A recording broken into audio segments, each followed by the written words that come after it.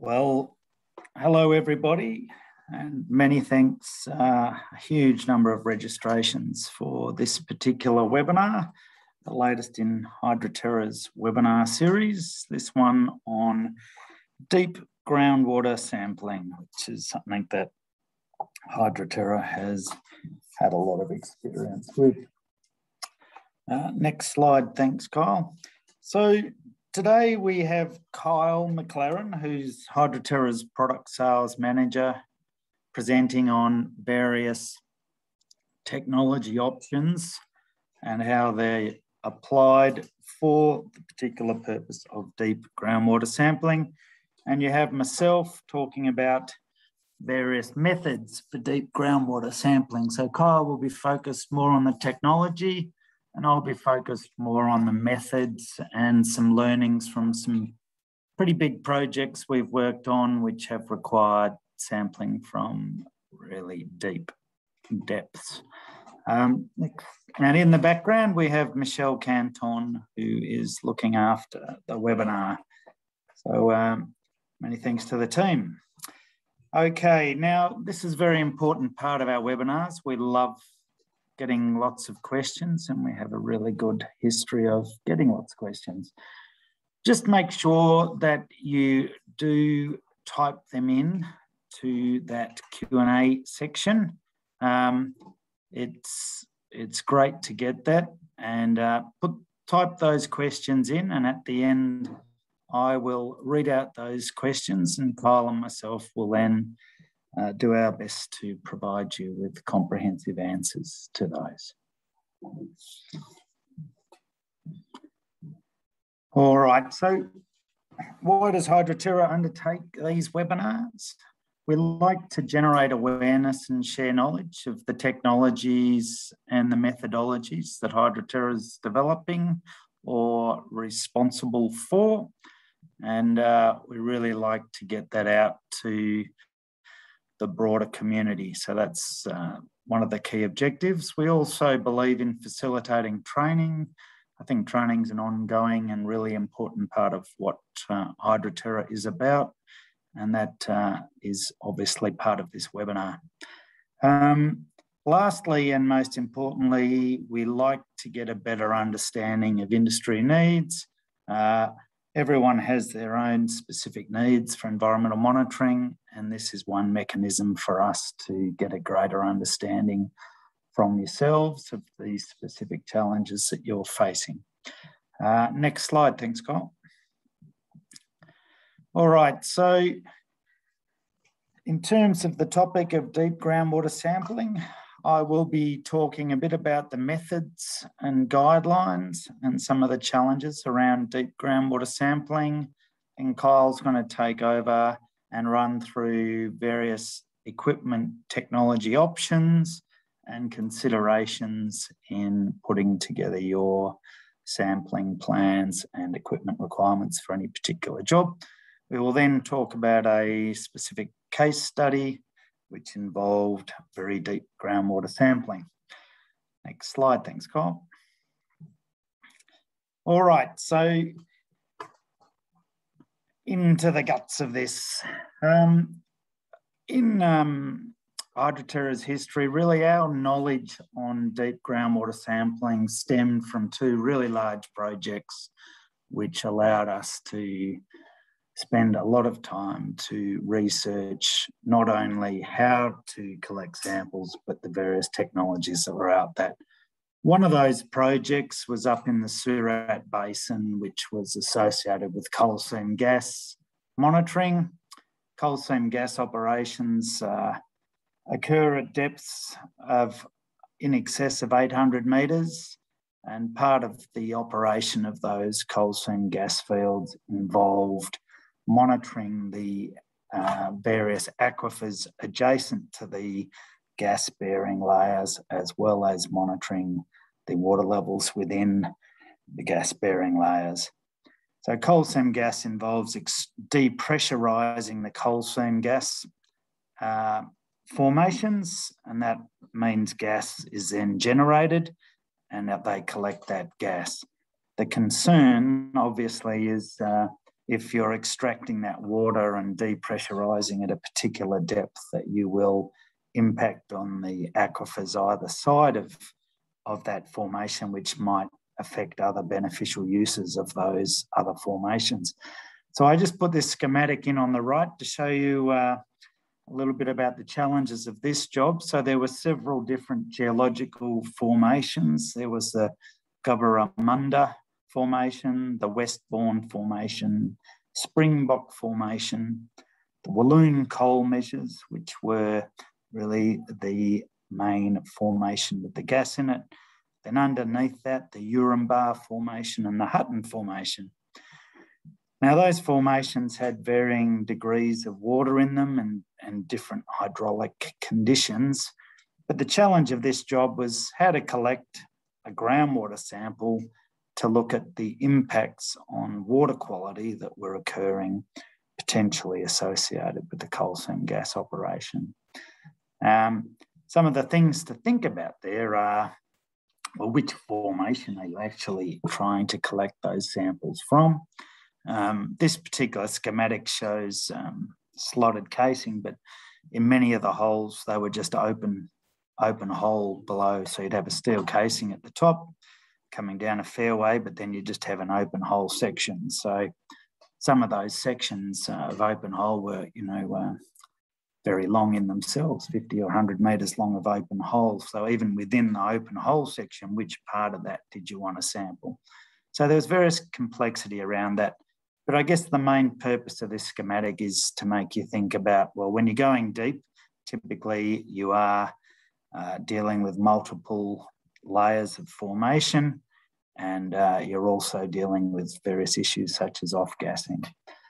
So when you're doing this sort of thing, we were engaged to, to review the various sampling options that were available to collect samples from those sort of depths. The deepest depths were in excess of uh, 1,000 metres below ground surface. And uh, there are many things you need to consider in that. So the first thing we did was a big technology sort of review and developed a bit of a selection process around that. Out of all of that, really it boiled down to two groupings of technologies that we thought would be most applicable in that particular scenario. It's not to say they're applicable in all, but in that scenario. And they were dedicated pneumatic bladder pumps or double valve pumps in the case of the bladder pumps, these are equipped with a drop tube assembly with or without a multi-port inlet assembly. Now, a drop tube assembly sits below your bladder pump and it, it's lowered down into the well and it has an inlet significantly deeper than where the pump itself is deployed. When you operate the pump, the water flows up the drop tube assembly. Kyle will talk more about the operation of those. One of the key considerations, though, is um, whether or not you're actually trying to collect um, constituents of the water, which are dissolved gases. And if you are, uh, then you need to take into account that those dissolved gases do start to effervesce as you bring them to the surface. So um, you need to deal with the fact that whilst they may be dissolved at depth, by the time they're depressurizing, coming up your sampling, they start to effervesce.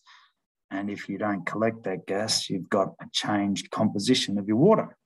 Therefore, you're no longer collecting something representative of what it's like at that depth. So quite a few challenges there. The second sorts of devices are grab sampling devices. These can be mechanical or pneumatic, and Kyle's going to run through a couple of examples of those, including some new ones, um, some of which weren't even around at the time of this particular project we worked on. Um, the real challenge with collecting grab samples at depth is those samples are collected from a zone of very high pressure. You know, they've got, say, 800 metres of head of water on them.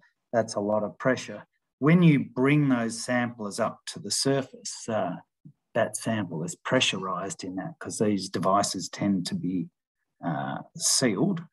So when you get to the surface, you have a pressurized device, which has safety considerations and all sorts of things about it.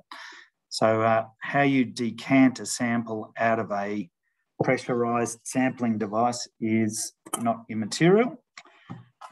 Next slide. Thanks, So on this project, I just thought it was worth putting in here. This is a matrix which helped us to ultimately select and rank what was the best way to collect samples. Down the left-hand column there, you'll see a bunch of different technology types like grab samplers, mechanical depth specific samplers, etc. It just really shows you that there are a wealth of different ways to collect groundwater samples. And then across the top with the site specific considerations, right? So what do we need to think about on our site when looking to choose the particular methodology to use? So just going across that top row, well construction is something that is very, very important. Often the diameter of your well is critical. Some of these sampling devices are quite wide in diameter. So you need to make sure, for example, it will actually fit down your well you know, you might be sniggering, but that is often the case that people have got to site and found that they can't actually fit the device down the hole. Second thing is what they call headworks. So in the coal seam gas fields, the headworks on a number of wells were actually pretty complex. Some wells were artesian. So the headworks structures of your wells or the piece that's sitting at the, the ground surface you need to be able to have an idea of that before you go out and sample. Sometimes the headworks is actually the headworks associated with an existing pump that might be down that well. That's particularly the case on farmers' wells. So you need to know that before you start. Um, do you need to be monitoring level at the same time you're sampling? If the answer to that's yes, then you need to think carefully about how you're deploying your pumps to allow that to happen. Uh, if you're dedicating low flow pumps down a well, uh, for example, then lowering a dip meter down next to that um, is is, something that's important, but it also instigates the potential for that device to get tangled in there. Some people dedicate pressure transducers next to uh, the pumps they deploy, for example. It's really important to think about your monitoring frequency requirements. So that's typically stipulated in your monitoring plan. But if you need to monitor, you know, more than three or four times a year, uh, or even less when you're talking about really deep sampling, you're better off to ded dedicate these deep sampling devices because it takes a lot of time to deploy them and uh, there's a lot of risk when you're deploying for very deep sampling that you're going to tangle things up and potentially block a well. So you want to think about the risk reward there. The cost of uh, dedicating a bladder pump or a double valve pump becomes immaterial in the context of having a blocked well. So uh, in this particular study, we ended up uh, recommending dedicated pumps in, in wells. And um, that it's, it's, it's worth doing a sort of time and motion study to work out how long it's going to take to deploy the sampling because sometimes just deploying the pump takes you know a couple of hours um, and your cost versus the cost of the pump mean the payoff period is very quick aquifer considerations well I mentioned that earlier but one thing to really think hard about is if you're dealing with an open screened interval and you're lowering a low flow pump there's plenty of works being done on the stratification of water quality within open screen intervals. You need to think about your formation and the homogeneity of that and whether a low flow approach is appropriate, for example, or grab sampling for that matter. Uh, sometimes you want to prevent connectivity between various zones and you can get various discs and things to put up above and below your sampling devices to effectively isolate zones to some degree. Uh, depth and pressure considerations, well, absolutely critical. And, uh, you know, standing water level in particular becomes very important in terms of choosing pneumatic devices, for example. Do you need to do conventional purging? So sometimes the requirements uh, in your monitoring plan are driven by a legislative requirement. Um, if conventional purging is required, then obviously you're not going to be selecting a low flow pump for that because it won't have the capacity to purge it. With these really deep wells, conventional purging is pretty impractical. The volumes of water you need to purge a, a one kilometre deep well, for example, just make it a pretty silly thing to consider. Uh, is low flow sampling appropriate? Uh, that's sort of a bit of a double up with what I spoke about in terms of aquifer considerations. Uh, no purge or passive sampling, is that appropriate? Um, sometimes it is, so you need to decide on that. Passive samplers are those sorts of samplers that you leave in place, come back, retrieve, and uh, uh, they, they basically stay in, in the hole most of the time. They can be useful. They're no good for, in general, for if you're dealing with dissolved gases. Um, minimal water column disturbance. You can imagine uh, if you're lowering a pump down 800 metres, there's a fair bit of mixing going on in your water column as you lower that pump down. That's one of the big considerations for whether or not to choose dedicating a pump in a well or uh, going between wells using the same sampling setup. As a general rule, I would recommend dedicating pumps when you have, you know, repeat sampling to be done. It's just removes a whole lot of errors associated with samples. Sample preparation, storage and handling. This really was very significant in this area because the Surat Basin is a very isolated area and just the holding times to get samples to the laboratory were extremely challenging. And the sampling times that we had using the low flow technologies meant that you may only be doing a couple of samples a day. And then you had to somehow get these samples to a lab that was often many hours away. Um, so you really do need to think about what you're going to do to prepare, store, and handle those samples with those logistical considerations.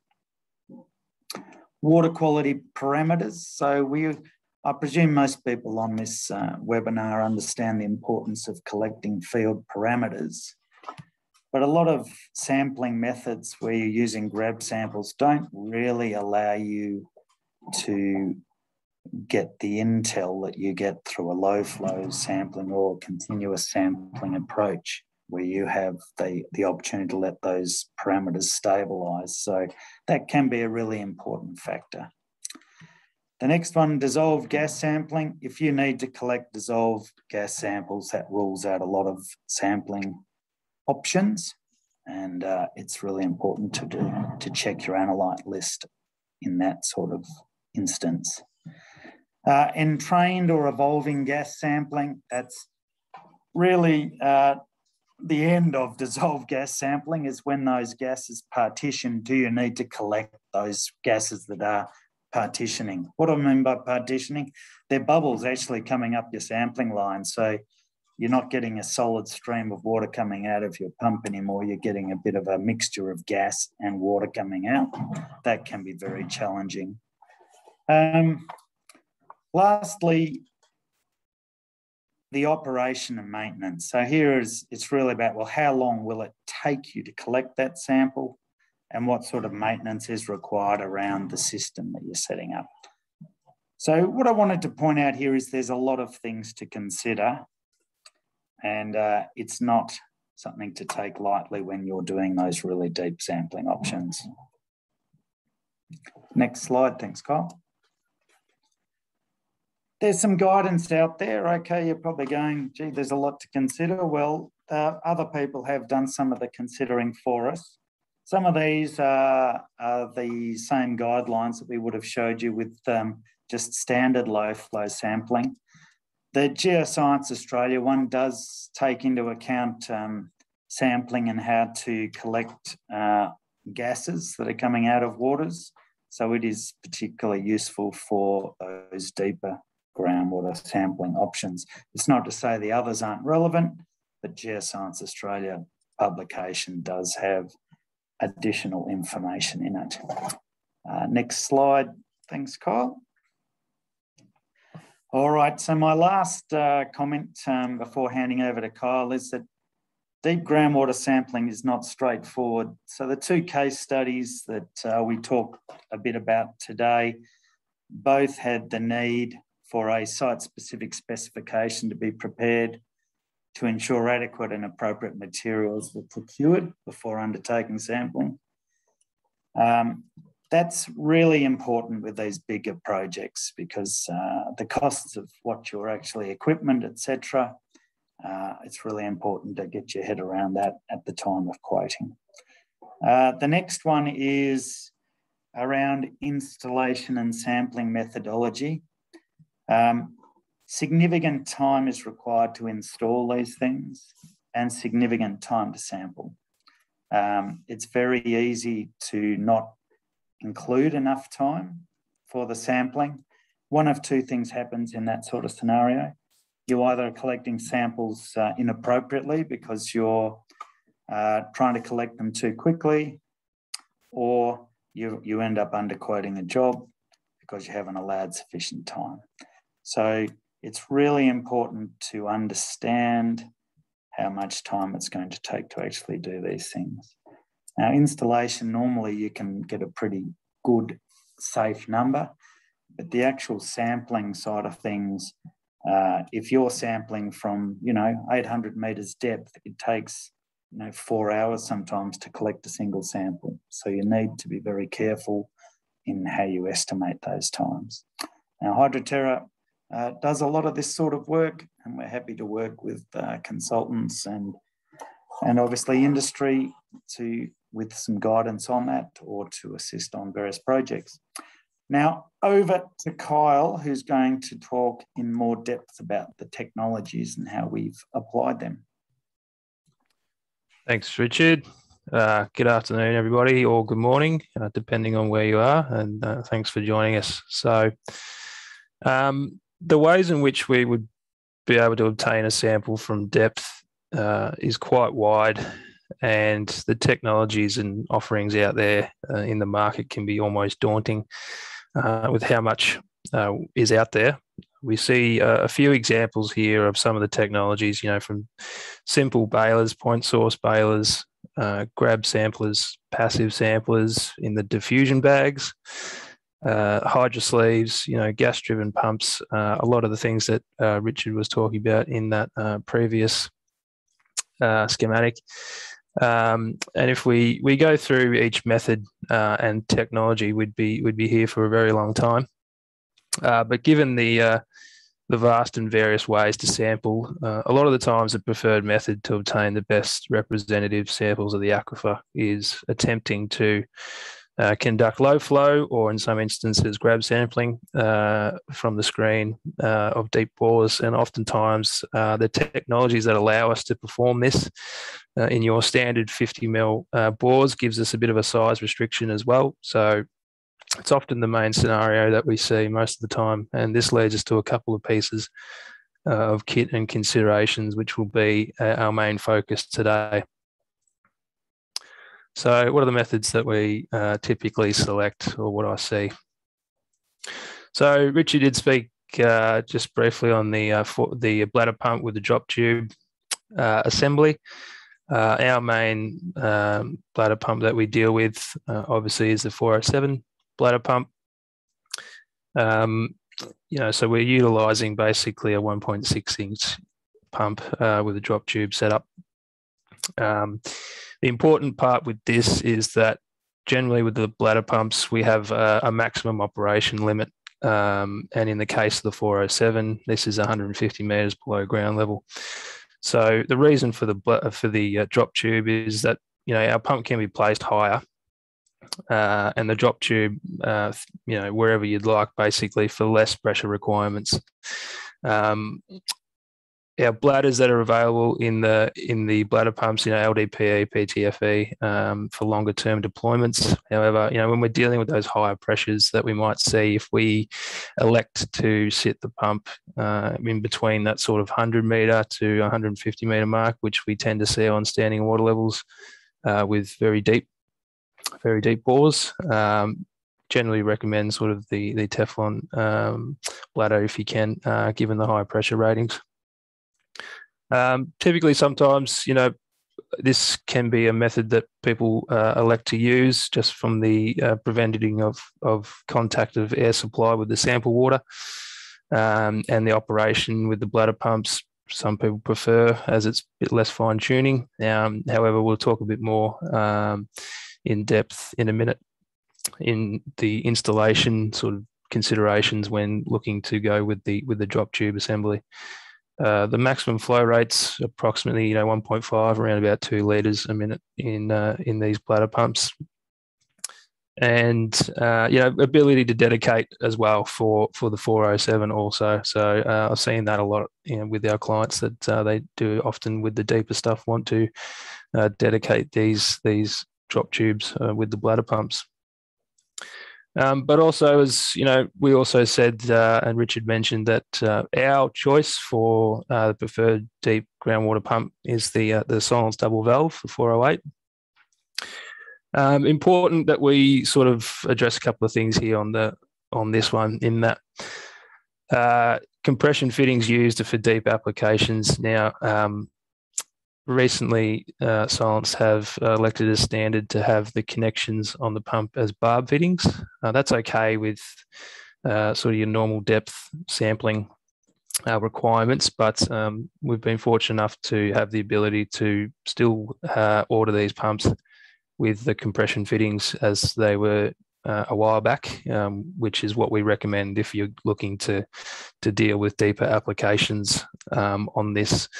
So just a, re- a little bit around the uh, the theory, I suppose, on these double valve pumps that allow us to be able to sample from such a depth.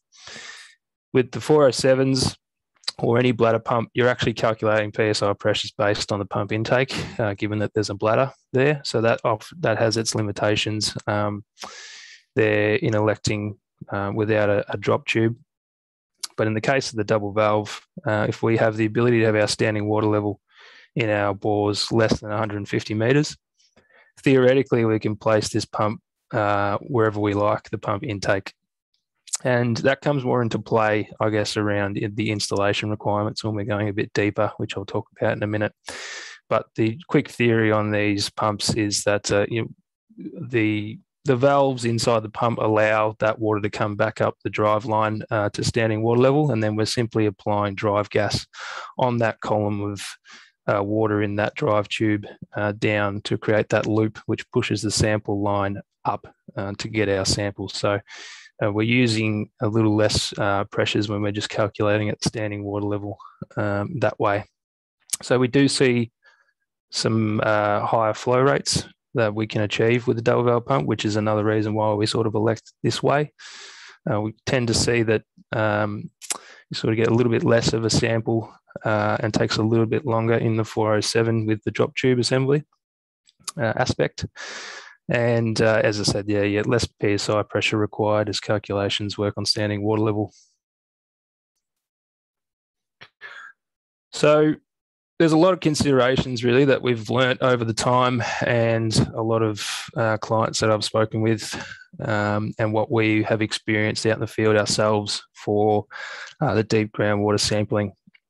Um, so key factors, and probably just to reiterate a few points that Richard might have mentioned earlier, um, but uh, these points, I guess, I'll, I'll go into a, bit more uh, detail uh, in a minute. But um, you know, probably the first one, yeah, initial sounding of the well. It sounds pretty basic, um, but it's it's very important. Obviously, for obvious reasons, we want to make you know, we want to make sure that there's not a breakage 102 meters, 200 meters down um, before we even start placing the pump. So, very important. Uh, the weights, if you set up buoyancy issues with your weight, the tubing considerations. You know, is there a drop tube needed?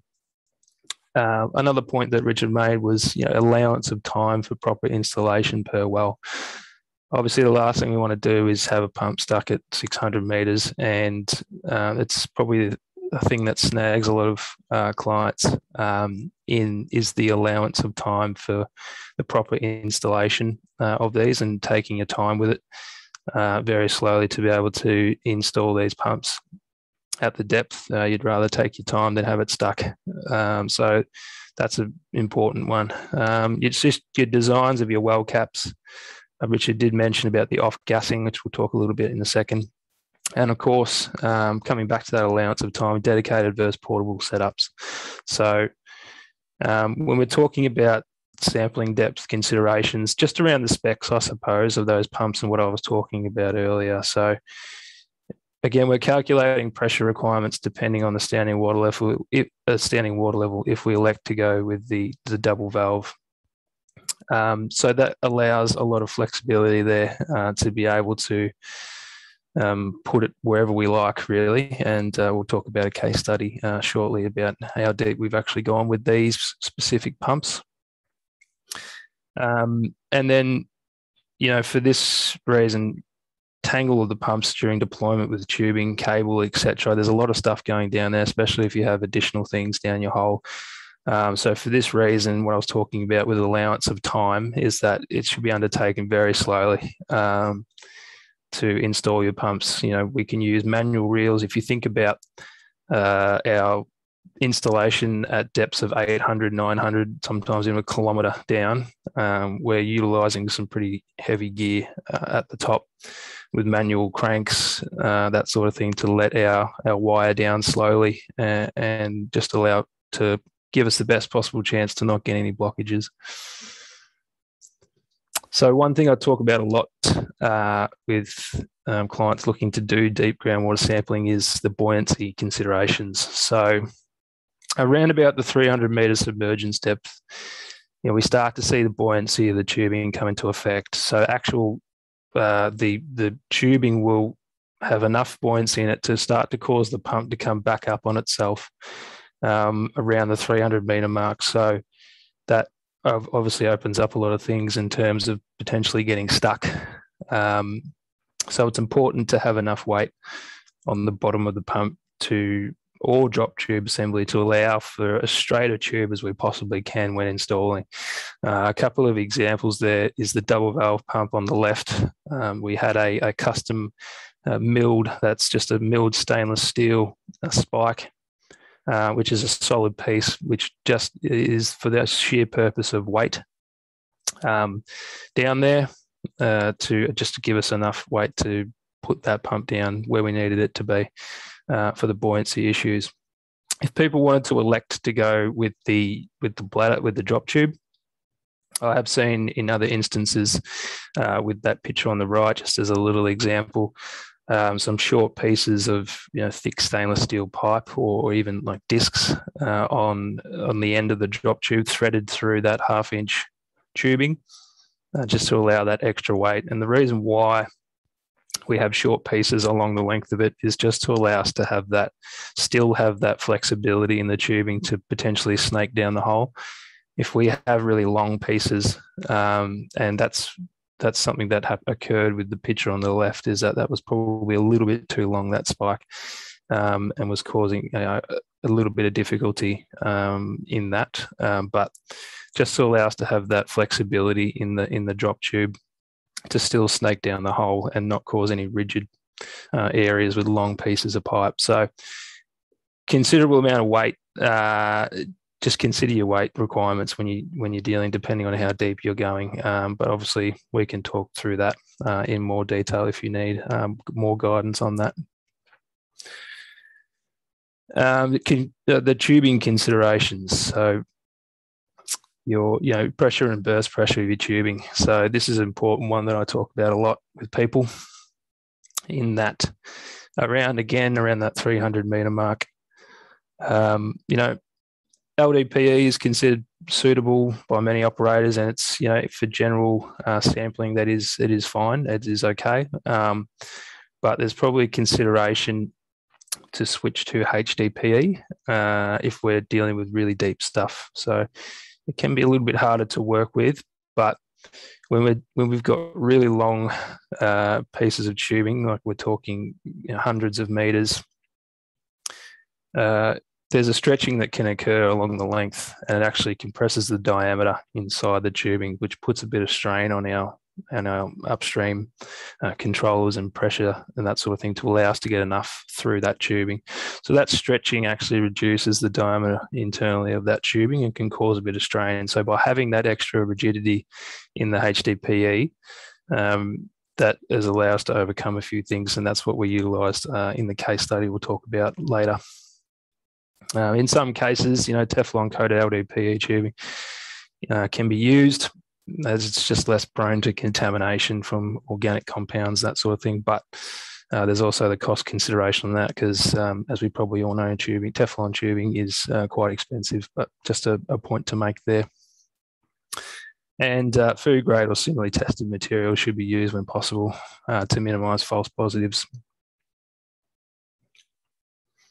So coming back again, I guess, I guess in that weight consideration, when we're talking about pump suspension, so there is a risk of pump detachment at the tubing connectors, uh, which is why we recommend having those compression fittings uh, on that tubing. Uh, I have seen in the past that people uh, install these dedicated pumps just on the tubing and compression fittings themselves. Um, I always recommend to have a suspension anchor, particularly with the deeper stuff. Uh, as you can imagine, we might have additional weight at the bottom of that pump as well to overcome some buoyancy issues. Uh, so just allowing, uh, having an allowance on those compression fittings themselves on the tubing is just simply not enough. Um, we need to utilize that suspension anchor that's on the pump um, to avoid uh, that coming off um, and probably one to mention is that if you can imagine, we're dealing with hundreds of meters of, of cabling. If we elect to go the stainless steel cable, uh, just your weight considerations on that can be incredibly heavy. Uh, and so, for the really deep stuff that we did, uh, we elected to go with the with the Kevlar line uh, on there, just to reduce some of the weight uh, in the in the setup. So important to consider that. So just a bit more detail on the drop tubes. Um, deploying the drop tubes can be problematic. Um, they are, you know, prone to tangling uh, in the bores, and that's probably the biggest uh, one to underline there. In that, uh, the installation uh, requirements of having the drop tube, and probably the one thing that comes uh, undone um, with our selection versus a double valve and and uh, and a drop tube assembly is that we have a weight at the bottom, we have a large piece, a long piece of half inch tubing, and then we have another weight in the pump body itself, and then more tubing in that twin bonded. So it just opens up more eh, room for that drop tube assembly if there's not enough weight there to come back up on that half inch tubing and start to tangle as we keep lowering that pump body down to where we need it to be. And that can just cause um, can cause tangles, and that tended to occur uh, a lot with um, some people trying to install those. Um, so it's really important that if we elect that, again, it comes back to that time allowance when you're doing your installations with those pumps uh, to really take your time with it if you want to elect to go with a drop tube. Um, but again, that's why we recommend having the double valves because you know your entirety of your weight is at the very bottom, and you're only dealing with uh, twin bonded tubing all the way down instead of uh, you know thicker half inch tubing, um, which has more potential to be wrapped up uh, in it. So just consider that um, your buoyancy restrictions as well, and also you just a little bit of decrease in flow rate um, between the two. So Richard did mention about the off-gassing considerations uh, on this. You know, as we move from high pressures in very deep wells up to to lower pressures, we bring the sample up, and we can potentially see some off-gassing occur uh, in waters containing dissolved gas. And uh, ourselves and Geoscience Australia um, have developed some, you know, methods to enable us to sort of sample those off gases uh, which uh, we'll, we'll talk about in a minute, uh, just on a case study there. Um, but uh, Richard did mention a bit of that before, so we'll move on.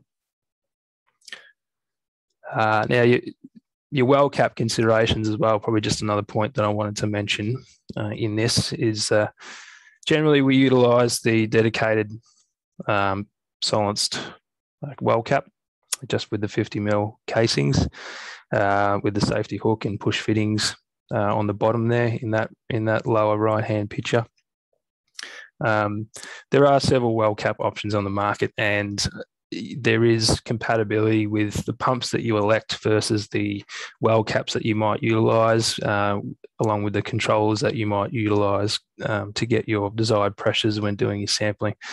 Um, it's probably just important to mention that you know most of the pumps have cross compatibility with whatever well cap you elect. Generally, there's just going to be um, some tubing push fittings at the bottom there to to connect into it, and then your head works at the top of that cap uh, would probably be you know compatible with whatever controller you want to elect. So um, for well casings that are you know greater than 50 mil, uh, a couple of you know a couple of options. You can either go a customized sort of well cap that you that you drill yourself, which uh, is in that picture there um, up on the left, or you know we go to reducer um, couplings over the top of the casing uh, to put it back to that 50 mil capacity to then allow us to use the dedicated caps. So just a couple of considerations in regards to the well cap. And just your uh, air supply options, um, just a couple of points, I suppose. Um, when dealing with the higher pressures required for the sampling, we just recommend having really high rated PSI controllers and compressed gas. That sounds simple, uh, but it just allows us flexibility on site to be able to increase uh, pressures if needed. Um, sometimes people will try and spec to meet uh, getting lower uh, rated controllers or something like that. And it's just uh, important to just have that allowance. Um, when you're dealing with upper echelons of some potentially lower PSI rated controllers, uh, you just run the risk of uh, some maintenance requirements there through that. So important to spec highly on the PSI ratings and recommended, you know, with the compressors, I've been asked that quite a bit uh, around using compressors. Um, for general low flow sampling, they're okay.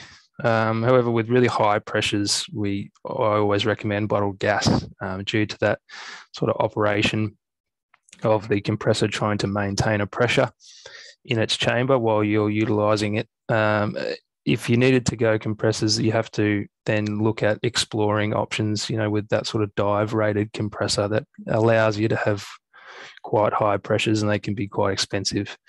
Um, if we go the lower rated compressors, there's just a risk of burning them out because if we're dealing with higher pressures, they're just constantly trying to maintain a pressure uh, within the chamber.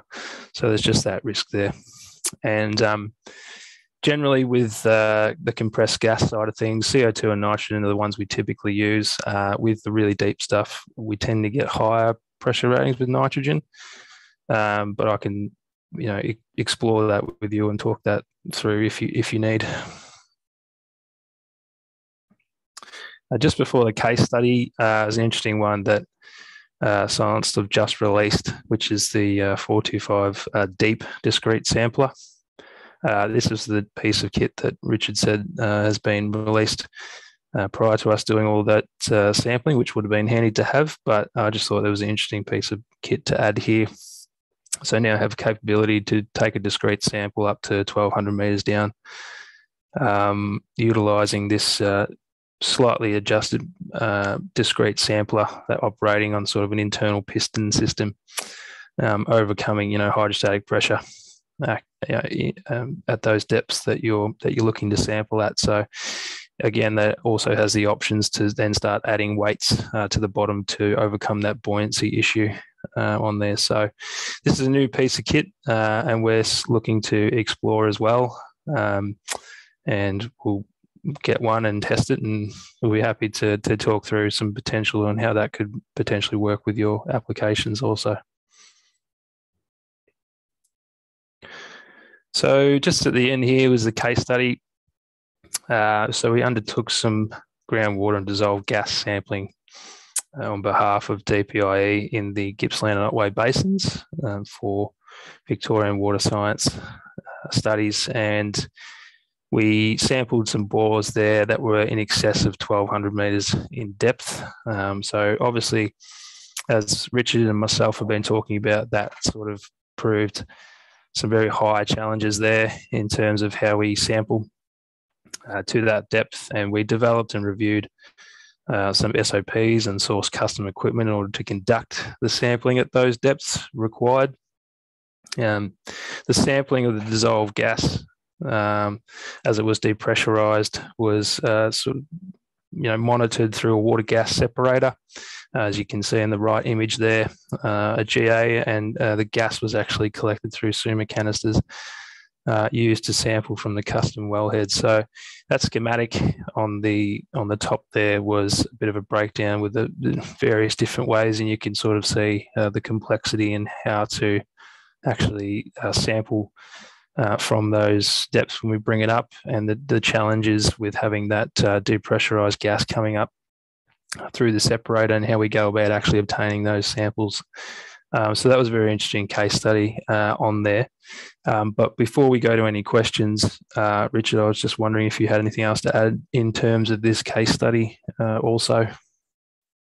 Um, no, Kyle, I think you've covered uh, it all pretty well. I might just emphasise uh, a couple of things here. So the the challenge with um, the selection of tubing is and the expansion that you mentioned is when the when you're under deploying at, at great depths, choosing to use HDPE is is better because it's a harder material and it actually expands less, which means you when you're pressurizing from the surface, you don't lose as much pressure when you're on your drive cycle. So it actually holds holds firm. If you can imagine across a length of a kilometre, a, a little expansion in tubing across a whole kilometre adds up to a lot, which can be a lot of volume of air to deliver to try and push that sample up. So uh, it's very important that you do consider HDPE for those deeper samples. So just clarifying a little bit there.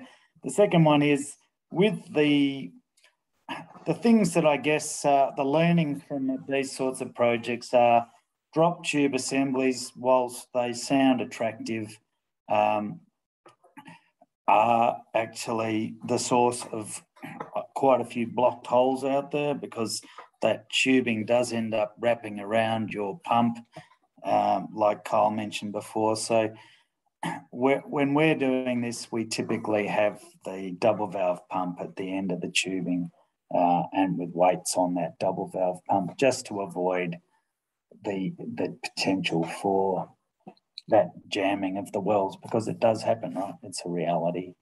Uh, and then maybe the last learning that came out of this project was sometimes you can have descriptions of wells which aren't actually accurate in terms of their diameters. Mm. So things like uh, uh, often you'll have uh, say a stainless steel screen down the well, which may be a different diameter to the uh, PVC casing, for example.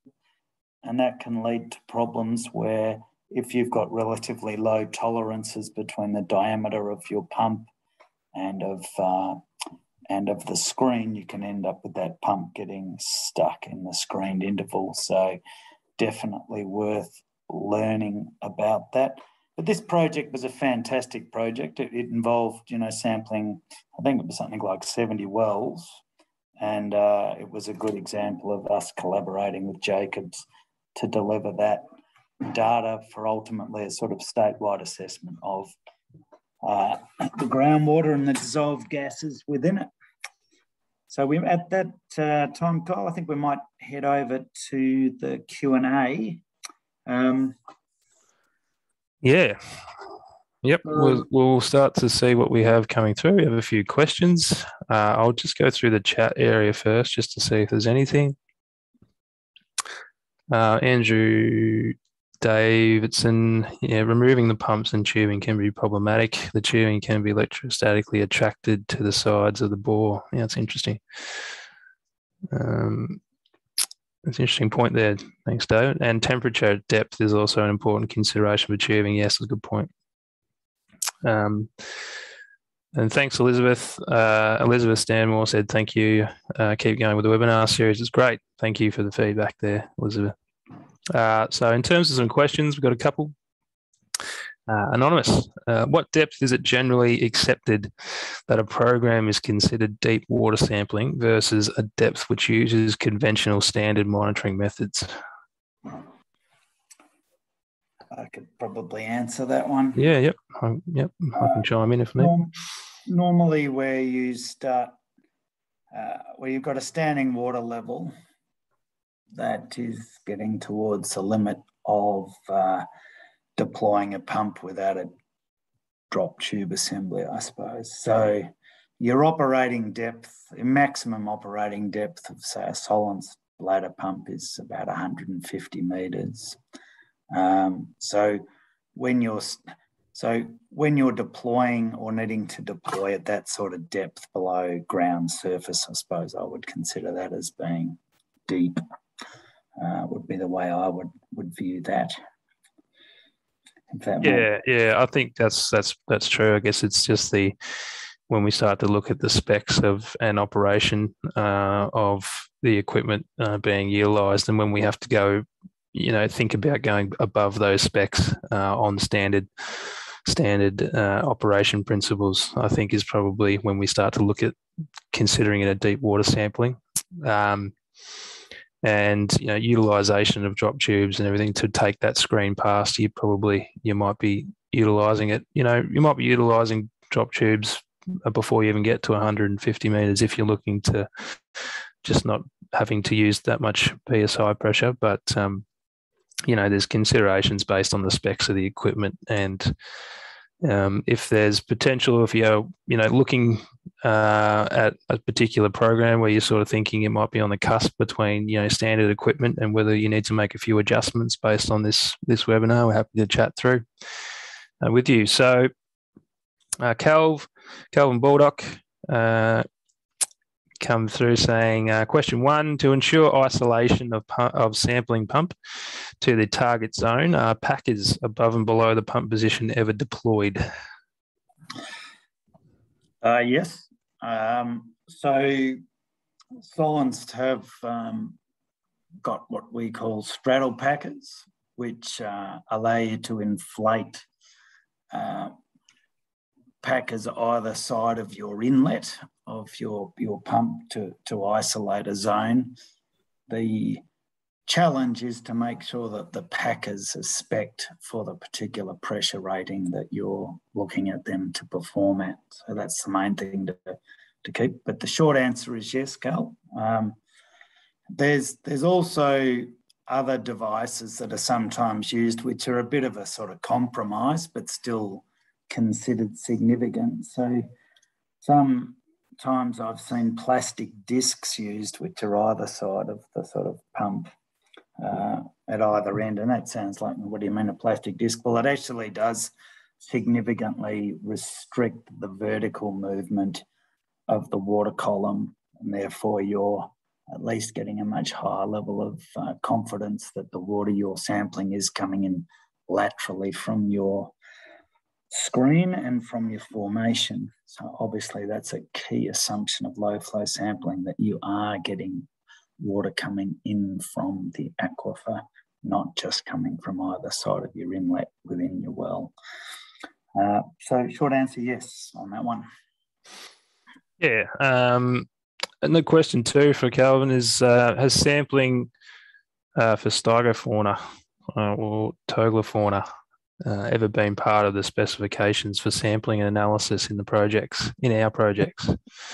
Uh, yes. So we have uh, up actually on that case study that I spoke to at the Surat Basin, Stygofauna was, uh, was a target. And uh, I would need to go back to my notes. So, Kel, it's a while ago. Uh, uh, to look at what the sampling devices were used for that. Uh, from recollection, we did all of that sampling separate to the actual, uh, you know, devices that we're talking about here today. So you can't use your, obviously your double valve pumps and that sort of thing to collect fauna. You needed separate sampling devices, which I think were like little nets from memory, but I need to check my notes. So maybe I'll take that one on notice and come back to you, but certainly was a key factor. Yeah, excellent. Um, Prachi, uh, is there any contamination from the tubing that you need to worry about? Hmm. Do you want me to answer that one, Kyle? Or do you yeah, yeah, sure. No, that's fine. so there's quite a few studies of different sorts of tubing out there. There's there's studies on contaminants that come out of the plasticizers that are used into the water. And there's studies on the absorption of contaminants that are in your water into those plastics. So there's two potential problems. One is that you're getting contamination that's being absorbed to your sample line and then potentially impacting other samples you might be collecting. So if you're moving between wells, that becomes a real problem if you're reusing the sampling materials, um, the like the tubing. But the second factor is you can have effectively uh, some contaminants absorbed to that and then effectively uh, moving back into the, water column later on and therefore you might have some difference between the composition of what you're sampling versus what the actual aquifer con condition is at some point in time. So there's there's absorption of the, the contaminants and look, most most of the issues that used to be associated with early problems with um, choice of plastics and them contaminating uh, water have now sort of been put to rest. If you if you look back, you know, 25 years ago, there was a whole lot of papers written about such things, and a lot of it related to well materials, like casing materials, and that sort of thing. But now it's pretty well accepted that if you're choosing food grade LDPE, um, that that you're in pretty reasonable shape or food grade HDPE. Uh, you know, that's sort of become reasonably well accepted. Um, I hope hmm. that answer the question. Yeah, excellent. Uh, Anonymous again, just saying which products are available for long term monitoring in deep aquifers greater than 250 meters, e.g., vented or non vented water quality probes. Um, I'd probably say you know there's there is a few there is a few options out there. Um, if uh, if came up not anonymous, I'd, I'd ask uh, if you wanted to you know contact me through those those details uh, through those details on the screen there. Um, we'll be able to talk through um, those types of um, equipment that you might be looking for. Uh, there's there certainly are a couple of options that you might be able to look at uh, for there. So feel free to shoot me an email. Um, Andrew Davidson uh, is the case study in New South Wales or Victoria. Uh, Victoria, Victoria was that uh, that case study that we just that we explored before. Um, the other one was in Queensland. The other one was in yeah in Queensland. Thanks, Richard. I couldn't quite remember where that one was. I think that's uh, I think that's everything that we've answered so far. Um, but that's given us uh, a good allowance of time for today. Um, so we might wrap it up there. But uh, thanks everybody uh, for joining us today. Uh, excellent turnout, and really appreciate all your all your time to listen to us um, talk about the the groundwater sampling. So. Um, you feel free to contact myself or Richard if you have any other further questions uh, outside of this. Um, but from from myself uh, and from Richard, we thank you very much um, for for taking the time uh, today to listen to us. So thanks very much, everybody. Thanks very much, Kyle. That was well done. Thanks, Richard.